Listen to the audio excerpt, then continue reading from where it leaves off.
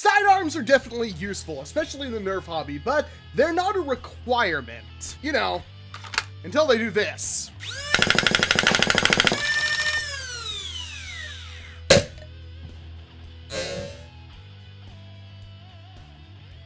Yeah.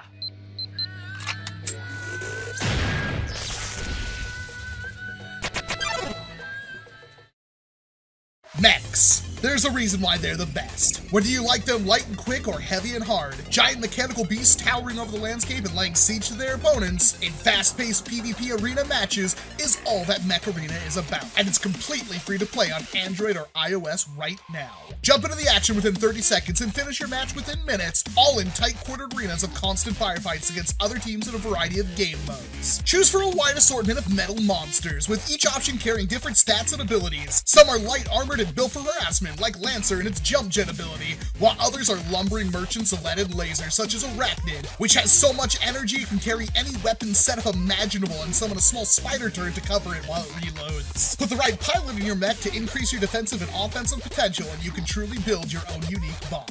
Mech Arena is all about the fast-paced action and moment-to-moment decision-making that puts the spotlight on the best pilots, and reflexes aren't the only way to win a fight. With constant updates, there's always a reason to hop in. This month, there's a new season pass with unique rewards like new skins for your favorite mechs, plus a bunch of Oktoberfest events with awesome rewards like the new pilot, Boar.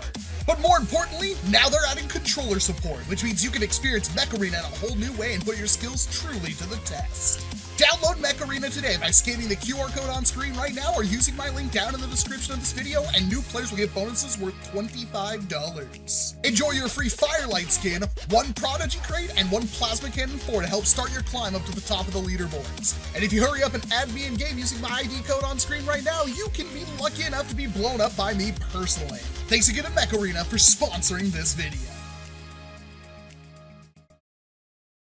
Everything you see here was sent to me by Old Fusions Designs themselves. They didn't compensate me for this video, so my opinions are completely my own. This is the Quik by Old Fusions Designs. It is a 3D printed full auto mag-in grip fed Nerf dart shooter using half darts or cut down Nerf darts. However, you can buy these specifically pre-made at like Walmart or Target. And is the first blaster in Old Fusion's designs that uses the Flycore system. The Flycore is 90% of a blaster built on a platform that is completely customizable, allowing you to use angled or straight Talon mags, various different speeds of N20 motor, all the way up to the 5000 RPM motor or about 50 darts a second if you want, whatever types of flywheels you want, and it's essentially there to be a platform for anybody to download and build their own full auto magazine fed dart spewing monster. The Quik is Old Fusion Design's own blaster using their own system, so anybody can download the Flycore and tool with it however they want. Of course, you can find the files to everything I'm talking about with the Flycore being free and the Quik actual files costing you about $10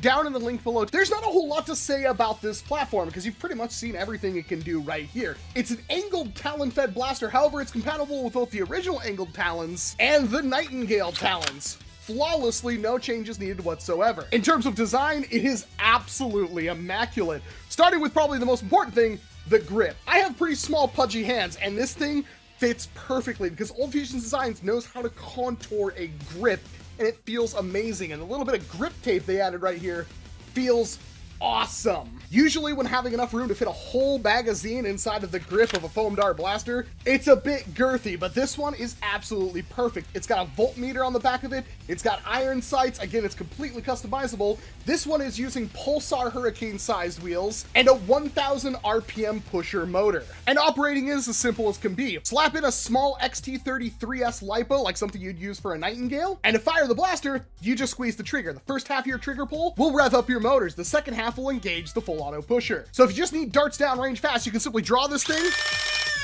and squeeze the trigger and you'll get what you need. But if you want to make sure that you get absolute maximum potential out of your blaster, you can squeeze the trigger a little bit to get those flywheels up to maximum speed, then pull the trigger all the way to fling darts a little bit harder. Of all the systems like this that I've used in this hobby, this one has the best trigger feel. Something about the spring tension on this trigger makes it effortless to shoot exactly how I want it to.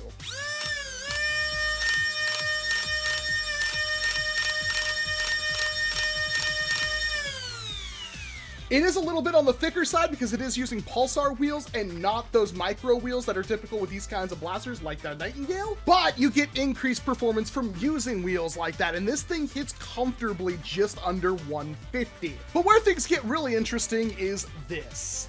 This is Old Fusions Design's Micro Booper. It is a Picatinny rail-mounted option that can use a variety of different foam dart shells to fire different projectiles downrange at frightening velocities. Yes, it's Picatinny compatible, so you could put it on pretty much anything, but it works perfectly with the Quik because of the way the trigger is situated. The Nightingale could be modified to have a Picatinny rail there and thus be compatible with a micro booper setup. However, out of the box, it is not. And the ever lovable Pew Pew, one of the best blasters you can get your hands on, has a magazine that goes in front of your grip.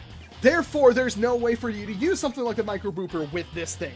Not that you probably need to, but you just can't. That means when paired with the Quik, the Micro Booper way overtunes the Quik. So now you have reliable magazine in grip full auto performance in a relatively compact package that also has a secondary blaster on it that can cover a wide range of bases. This is the actual piece of hardware right here that makes this happen. It is the 40 Max shell. This is marketed as an airsoft Nerf firing shell thing. It's a 40 millimeter shell that'll work with a variety of airsoft 40 millimeter launchers, and it's powered by green gas, which is just propane. Simply push the nozzle in the back of your shell for a second, and then you can screw on any of these adapters for various types of foam projectiles. So you've got a 10 dart shotgun using standard half-length darts. I guess you can put five full-length darts in this if you really wanted to. Two Nerf Mega Darts in one blast. 12 Nerf Hyper, which may be the most terrifying one. And then, of course, one Mega XL, which is hilarious. And using these is incredibly simple. You just put them in place. They don't fall out or anything like that. They clip in, and then you just engage the bottom trigger here to fire the shell, and then you can swap it out to a different one as quick as can be. That means that this is kind of the perfect blaster. You can do just about anything you want with a blaster like this. Because the flywheels are horizontal, this thing is incredibly accurate for a flywheel blaster. It's never going to compete with a Springer, but neither is the Springer going to compete with this thing's rate of fire. Or if you're caught reloading or you need to shoot a different type of ammo, you have your Micro Booper, which means you're an incredibly hard target to take down because I can just release a mag, dump a new one in there, and I can still have this thing pointed in front of me ready to take on any challenger that comes around the corner. And all of that in a blaster that's not very large at all, and while having like the micro booper and everything on it makes this thing practically unholsterable, I assume there will be some kind of specialty magnetic or slotted holster for this thing in the future. If this thing really wanted to, it could hit over 200 FPS because we have flywheel systems that will do that. If there's a flywheel blaster that hits X level of performance, you could put that performance in practically anything. This, uh, I don't know what that's gonna be hitting because I don't have a singled one of these and I don't think one should ever exist. But because it's shooting a lot of projectiles at once, or one big huge projectile, that's seldom gonna be a problem, although I don't think I'd ever wanna take one of these anywhere point blank. So you have an insanely competent system that does practically everything you would want in about the smallest package possible. And that's what makes this blaster one of the best things you could possibly have with you. Yes, the Nightingale is absolutely awesome, as is the Pew Pew. These are both wonderful setups, and I assume there's going to be a way for you to put a micro booper on a Nightingale anytime soon.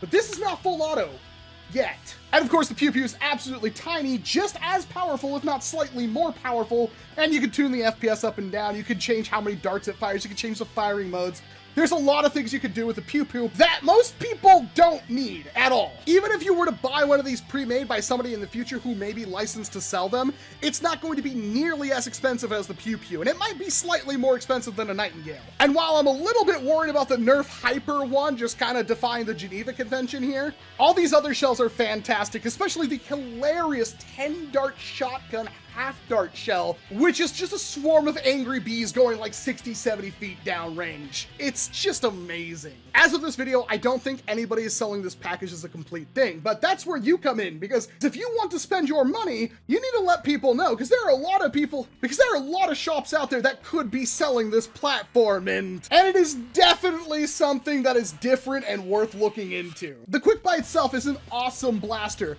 but when it's combined with the micro booper, it is practically unbeatable. And for that, I give it full marks. As long as you're allowed to use both these things at your local war, you know, until they ban it because it's too good, you will be having a ton of fun. The 40 Max shells themselves are a bit expensive. They are about $25. They were available on Amazon, but I bought literally the last one. But I bought these ones from AliExpress, a six pack for I think about 150 bucks, and they were worth every single penny. This is like the most amount of power you can have in Nerf in the smallest possible size. It really doesn't get better than this. Again, as long as it's legal at your local war. Thank you very much to Old Fusions Design for sending this out to me. I absolutely loved it and I really hope you did too. But that's all I've got for you. I'm WalcomS7. Thank you very much for watching this video. Chances are if you got to the end, you like what I do here, so please hit like, get subscribed, ring the bell, leave a comment, do all that algorithmic garbage to help the channel grow so you can help our hobby grow. And of course, I hope to see you in an entirely different video. You gotta